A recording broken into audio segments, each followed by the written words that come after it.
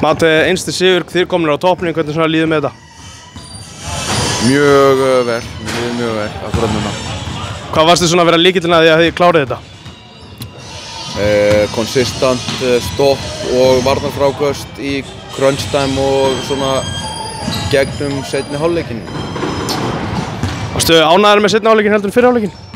Já, það gefur auðvitað eitt. Uh, við hérna höfum ekki verið í svona fysikal leikjum í vettur og hérna við vorum bara svolítið lengi að, að, venjast því. Það tók 20 mínútur að átta sig á því hvernig línan væri bara þegar við höfum ekki verið í svona línu. Og við letum bara svolítið berja okkur út úr öllu sóknarmegin og hérna og svöruðum ekki varnarmegin, við vorum alltaf langt frá skotmönnunum þeirra og hérna vorum að býða eftir að bóttin myndi dætt í hendunar á okkur í varnarfrákast í staðin fyrir að stíga menn út og eiga fyrsta höggið í kontakti. Hvort er skemmtilega að spila svona jafna leiki sem að vinnast svona auðvitað Það segir sér hérna sjálft að það er skemmtilega heldur en að vinna leiki örgan átt en er, er það erfiðar að þægilega sem þjálfur hvað, hvað svona upplifir þetta?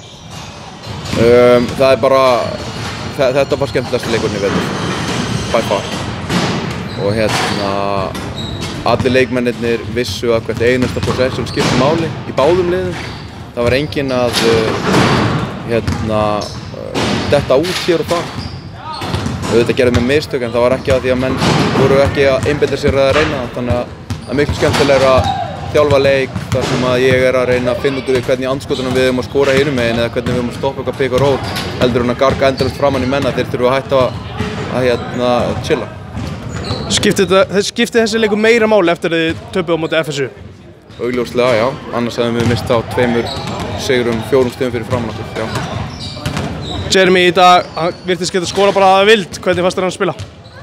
Mjög vel og sérstaklega þegar við svona tökum smá yfirhöndina í þessu þá hérna tekur hann svolítið yfir, setur uh, þrjár, fjóra körfur eða eitthvað svoleiðis og hérna og svo er hann bara alltaf hérna þrjusur skittu bæði hann og Hósei og svo Emil Orri eitthvað og, og hérna út um allt þeir spila svolítið eins og Golden State með þessar tvær skittur mm -hmm. og það þarf bara ógeðslega miklu orku að elda það út um allt þannig að hann var ekki síður í þarna megin Þið rættu við á ráðan og hann sagði að því haugar hafi heima, heimavöllin með, já, eins og hann kallaði ofbeldi væri orðið sem góða fólki myndi nota yfir það sem þið voru að gera varnarlega. Hvað, hvað hefur að segja um það?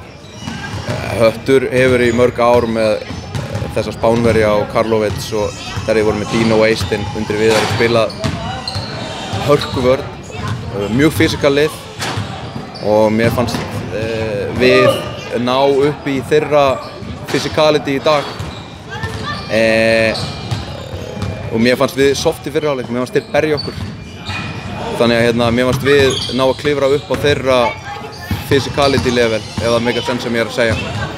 E, ef við hefðum ekki gert það þá hefðum við verið jarðaðir hérna í dag. Þannig að ef þú þarfst að verja heimavöldi með ofbeldi þá fokkin gerur þið það. Annars tapar við á móti liði sem er stórt og sterk og gamalt og reynslumikið og lemur þið í kless Góð stemning í húsinu líka, Bæ, bæðið lið ykkur fína stuðning. Herru, já, það var eiginlega bara mjög skemmtilegt að, að þeir mættu hérna með bjelið og úlingaflokkin sinn og, og það vindaðist bara þrjusur stammari. Einn loka spurning, þú varst ekkert svona sáttur þegar að Höttur fekk að halda boltanum í loka sókninni þegar hann að 6 sekundur var eftir. Fengi að taka leikli og þú helst öruglega að því ætti að hafa boltan. Já, þegar það var dæmt óþjóftamannslega vilja. Nei, þegar að allir Medina hefði stiðið út af eitthvað, ég man ekki hvernig það var. Þeir fengi allavega innkast og fengi að taka leikli og stilt upp í svona loka sók sem klikkar. Þetta meina þegar hann setti það voru hvað 9,9 sekundur eftir. 6 sekundur á skóðklukkunni Medina náði boltanum en já, já, já, já, það var fyrr, já, já, já, já. Herru, já, ég, hérna, ég veit ekki hvernig summi orðaði þetta en hérna, Hósei dró tætnar rétt inn fyrir línuna og það var svona moment þegar að Hósei, ég, þeirra leikmaður og summi horfum allir á sama blett og hann var inn á vellinum en summi rétt að fá boltan, ég veit ekki, hann hefur bara séð þetta einhvern veginn öðruvísi en þetta var ógæðslega fyndið því að við horfum á sama blett á sama tíma og hann var eini sem að sá löpuna út af sko. En já, en ég var ekkert pyrraður, ég var bara, þetta var bara já, þetta var bara svona Ánæði með að hafa náðu stoppa þá svo að þeir gætu ekki jafna leikin.